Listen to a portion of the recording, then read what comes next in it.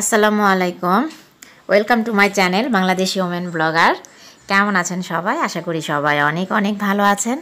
আমরাও আল্লাহ রহমতে আর আপনাদের দোয়ায় আলহামদুলিল্লাহ অনেক ভালো আছি। কোথায় এসেছি সেটা পরে বলছি। দেখতেই পাচ্ছেন যে একটা মসজিদে এসেছি। তো আজকে আসলে মসজিদে আসার কোনো প্ল্যান ছিল না।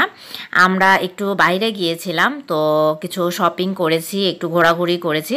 তো করার পরে প্রায় তিনটার মতো বেজে গিয়েছিল। তেমন কোনো কিছু শপিং না। ইনশাল্লাহ আমি শেয়ার করব আপনাদের সাথে কি শপিং করেছি। তো ওগুলো করার পরে বাসায় যাওয়ার জন্য তিনটার দিকে আর কি রওনা দিলাম আমরা।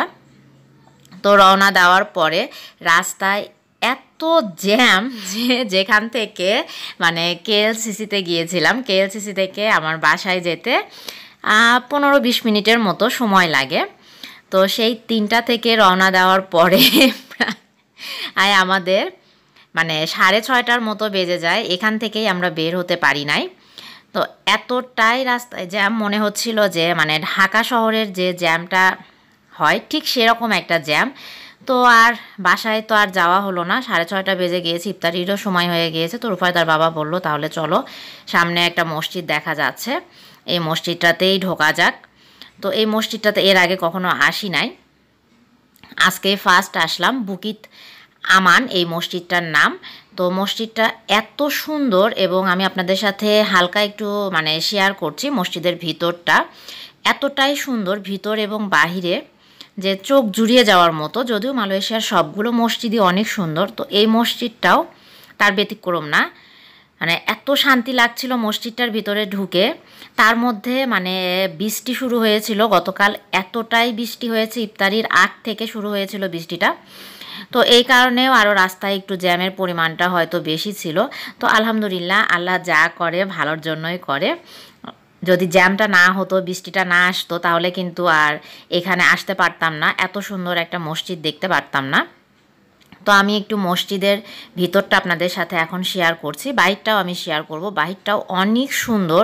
মানে মনে হচ্ছিল যে কোনো রিসোর্ট টিসোর্টে বেড়াতে আসছি, এই রকম। তো দেখতেই পাচ্ছেন, এটা হচ্ছে যে মসজিদের ভিতরেই মানে মসজিদ থেকে বের হয়ে এই এই পোর্শনটা এত সুন্দর করে গাছ লাগানো এবং হচ্ছে টেবিল দেয়া আছে, চেয়ার বসানো আছে। এই টেবিল চেয়ারগুলো কাঠের। তো মানে কি বলব, এত শান্তি লাগছিল দেখতে আর মানে সৌন্দর্যটাও সত্যিই উপভোগ করার মতো যে মসজিদ এত সুন্দর এটা আসলে না দেখলে। জানি না ভিডিওতে আপনারা কতটা বুঝতে পারছেন বা কতটা সুন্দর লাগছে। তো সত্যি সত্যি মসজিদটা দেখার মতো তো আমি তাই ভাবলাম যে আপনাদের সাথেও একটু শেয়ার করি। আর আরও একটা মজার ঘটনা বলব আমি। তো তার আগে এই সৌন্দর্যগুলো আপনারা একটু দেখে নেন। গাছগুলোও কিন্তু মানে এত পরিপাটি, খুবই ভালো লাগছিল। তো আমি রুফায়দাকে নিয়ে ও বারবার বলছিল যে মামা আমি ওখানে একটু বসবো। তুমি চলো আমার সাথে। তো ওকে নিয়েই ওখানে যে একটু কিছুক্ষণ সময় বসেছিলাম। আর গাছের পাতাগুলো নড়ছে কিন্তু খুব সুন্দরভাবে। আপনারা বুঝতে পারছেন কিনা জানি না যে বাতাসটাও ছিল, অনেক সুন্দর, এত আরাম দিচ্ছিল। তো এটা হচ্ছে যে বৃষ্টি শুরু হওয়ার আগে এখন সাড়ে ছয়টার মতো বাজে। তো এটা হচ্ছে মসজিদের সামনের পোর্শন, এন্ট্রান্সের আগে। হাতের ডান সাইডে দেখেন, এটাও আমি একটু আপনাদের সাথে শেয়ার করি। এখানেও বসে থাকার জন্য খুব সুন্দর করে ঘরের মতো করে বানানো আছে। এইগুলোকে তো আমার মনে হয় কলাবতী গাছই বলা হয় আমাদের দেশে, তো এটাতেও খুব সুন্দর ফুল। তো আমি আর রুফায়দা যাচ্ছিলাম আর এত সুন্দরভাবে পাথর দেয়া, খুব ভালো লাগছিল যে বাতাস মানে এখান থেকে যাইতে ইচ্ছা করছিল না, কিন্তু আকাশটাও এত মেঘ করে এসেছে যে আর না ঢুকে উপায় নাই।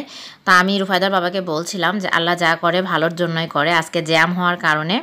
এত সুন্দর একটা মসজিদ দেখার আর কি সৌভাগ্য হলো। তো তাই আপনাদের সাথেও শেয়ার করছি আমি মসজিদের সৌন্দর্যটা। আর এই সুন্দর সুন্দর গাছ খুবই সিমসাম বাট পরিবেশটাও খুব সুন্দর এবং মসজিদে আসলে কিন্তু এমনিতেই মনটা অনেক শান্ত হয়ে যায়, ভালো লাগে। আর তার মধ্যে যদি মসজিদের পরিবেশটা এরকম হয়, তাহলে তো কোনো কথাই নেই। আর ফুল দেখতে আমরা কে না ভালোবাসি, তাই না? তরু ফায়দাও খুব সুন্দর মানে খেলছিল, খোলামেলা চারিদিকটা, ও খুব এনজয় করছিল। আর আমি একটু একটু করে এই যে ভিডিওগুলো শ্যুট করছিলাম, এই ফুলগুলো আমার ছোটোবেলাতে খুব পছন্দ ছিল। এটার একটা পিঙ্ক কালার পাওয়া যায়, সেটা দিয়েও আমি খুব খেলতাম। তো আজকে অনেক দিন পরে আর কি এই ফুলগুলো দেখলাম এখানে। তো আমরা মা মেয়ে এখানটাতে বসে অনেক গল্প করছিলাম। খেলছিলাম আর রুফায়দার বাবাও একটু পরে এসে জয়েন করেছে। ওর সাথে এখানে এক বাঙালি ভাই আছে, সে এই মসজিদেই থাকে। তো সে ভাইটা আর কি গল্প করছিল রুফায়দার বাবার সাথে। সেই ভাইটাই আমাদেরকে আর এখান থেকেও বের হতে দিল না। এই মসজিদে আজকে ইফতারির জন্য ব্যাপক আয়োজন করা হয়েছে। এটা নাকি প্রতিদিনই আয়োজন করা হয়। তো প্রথমে যখন মসজিদটার ভিতরে ঢুকলাম, আমি আপনাদেরকে যখন নিয়ে যাব ওখানে, তখন আপনারা বুঝবেন মানে এমনভাবে সাজানো, এমন ডেকোরেশন করে রাখা হয়েছে। তো মনে হচ্ছে যে যে কোনো মানে কোনো অকেশন আছে বা কোনো বিয়ের অনুষ্ঠান বা এমনিতেই হয়তো কোনো আয়োজন এখানে করা হয়েছে। এই কারণে এত সুন্দরভাবে ডেকোরেশন করা হয়েছে। তো আমি একটু কনফিউজড হয়ে গিয়েছিলাম। ফাদার বাবাকে বলছিলাম যে, এটাতে মনে হয় কোনো অনুষ্ঠান আজকে হচ্ছে। এই জন্যই মনে হয় এত সুন্দর করে টেবিল দিয়ে সাজিয়ে রেখেছে। তো ফাদার বাবা বলছে, সমস্যা নাই। আমরা হচ্ছে যে মাগরিবের নামাজ পড়ে এখান থেকে তাহলে চলে যেতে পারব। সমস্যা নেই। একটু রাস্তাটা ফাঁকা হোক। কারণ এতটা সময় আসলে গাড়িতে বসে থাকতেও কিন্তু খুব কষ্ট হয়। রূপায়দাও ছোট মানুষ। তো এখানে একটু মাটি দিয়ে খেলছিল। এই যে ইফতারি সাজানো হয়ে গিয়েছে। আসলে এখানে কোনো প্রোগ্রাম হচ্ছে না। নর্মাল ডেতে প্রতিদিনই আর কি এই মসজিদটাতে এইভাবেই ইফতারির আয়োজন করা হয়।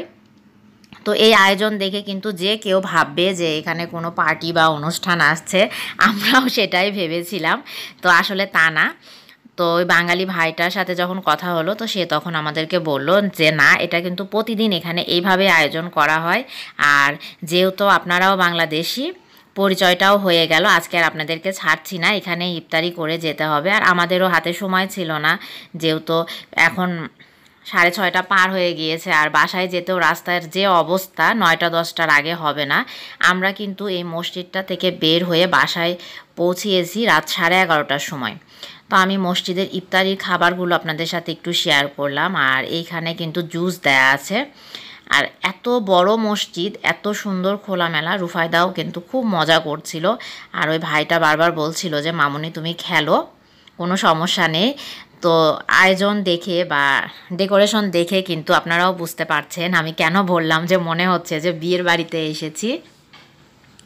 আর আজকে কিন্তু আমি বাসায় সকালে আর কি রান্না করে রেখে এসেছি একবারে মানে যে ইফতারির জন্য রান্না করে রেখেই বের হয়েছে যে বাসায় এসে ইফতারি করব।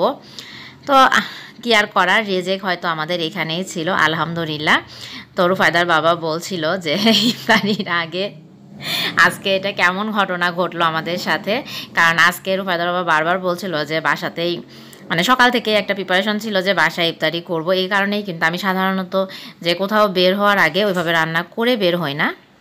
হয়তো বাইরেই খেয়ে নিই তো কেয়ার করার? রেজেক ছিল এখানে। তো রুফায়দার বাবা আমাদের ইফতারির জন্য খাবারগুলো উঠাচ্ছে। আর এই বড়টাতে দেখেন, এখানে হচ্ছে যে খেজুর রাখা। তো এই তো ইফতারির আইটেমগুলো এটা হচ্ছে সাসলিক দিয়ে ব্রেড দিয়ে একটা খাবার আর একটা পিঠা ছিল খেজুর ছিল কফি ছিল তারপরে হচ্ছে যে মালয়েশিয়ানরা যে পরিসটা খায় সেটা ছিল আরও বেশ কিছু মালয়েশিয়ান আইটেম ছিল। তো আমরা আসলে মালয়েশিয়ান খাবারগুলো ওইভাবে খেতে পারি না তাই ওই খাবারগুলো আর নেই নাই। প্রথমে তো এই যে এখন আজান দিয়ে দিয়েছে, তো আরও কিছু ভাই চলে এসেছে। এখানে আসলে মনে হয় যারা জ্যামে আটকা পড়েছিল তারা এত দ্রুত এসেছে। দেখেন পুরাটাই আসলে ভর্তি হয়ে গিয়েছে আস্তে আস্তে। অনেক মানুষ, তো এখন আমরা মাগরিবের নামাজটা পড়ব। তো এই যে মাগরিবের নামাজের পরে আবার হচ্ছে যে ভাতের আইটেম ছিল, তো এখানে হচ্ছে চিকেন ছিল, তারপরে সালাদ ছিল। এটা একটা মানে বাঁধাকপি আর শশা দিয়ে একটা সালাদ করা। আর এটা হচ্ছে এক ধরনের স্যুপ, চিকেন স্টক দিয়ে স্যুপ করা ছিল। আর এটা হচ্ছে পাপায়া ছিল। এটা হচ্ছে একটা মরিচের স্যুপ আর এটা হচ্ছে সয়া সস দিয়ে একটা এক ধরনের সস বলা হয়, মালয়েশিয়ানরা এটা খায়। তো আলহামদুলিল্লাহ এত সুন্দর আয়োজন। দেখে আসলে মানে খুব ভালো লাগল। আর বাঙালি ভাইটা থাকার কারণে আমাদেরকে মানে এমনভাবে আপ্যায়ন করেছে ভাইটা, খুবই ভালো লাগল, খুব শান্তি লাগল। আর এটাতে রাইস ছিল।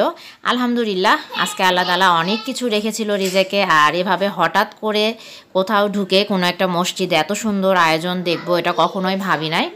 তো সব কিছু মিলিয়েই আজকের ইফতারিটাও অনেক সুন্দরভাবে হলো। তো সবাই ভালো থাকেন, সুস্থ থাকেন। আসলে মানুষের রেজেক কখন কোথায় থাকে এটা আমরা কেউ জানি না। তো আজকের মতো এখান থেকে আমি বিদায় নিচ্ছি। আল্লাহ হাফেজ।